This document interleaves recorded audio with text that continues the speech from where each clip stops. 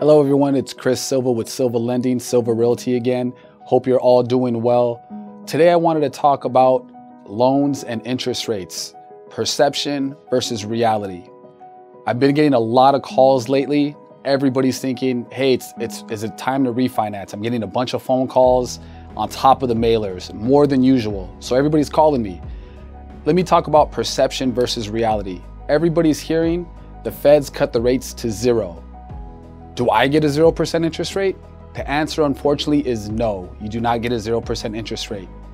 The banks are paying less to borrow money from the federal government and from each other. So what that means is, is the feds are hoping that that savings is passed on to us, the consumer. It was passed on about two weeks ago when they initially cut the rate a half a percent. It was an emergency cut. The rates dropped dramatically everybody went ahead and, and, started refinancing. All the people that were purchasing locked their interest rates.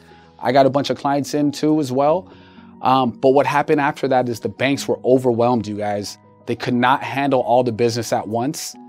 And in order to, to halt the business, they can't say no. They will never say no. That would ruin them.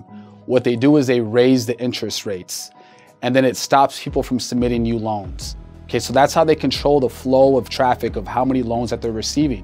Okay, so what has happened now is everybody's thinking, did I miss the boat? Is it too late? Man, I wish I would have I wish I would have got my loan in.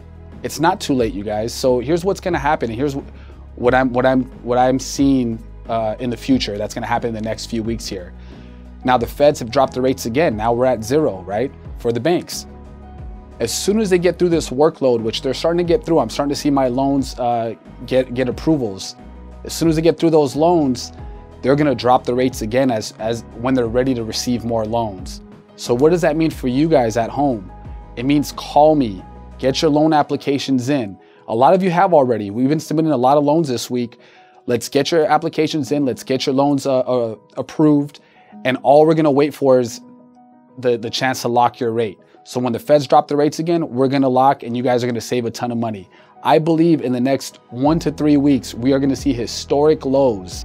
I mean, the lowest rates that we've ever seen are gonna be in the next one to three weeks. Are you gonna be ready? Are you gonna have your loans submitted? So that way you're ready to save some money. In these times, every penny counts, you guys, so make sure you get your money in. One last thing I wanna touch on is, um, besides being ready, is banks versus brokerages. Now, I just told you what banks do. They raise their rates when they can't handle more loans.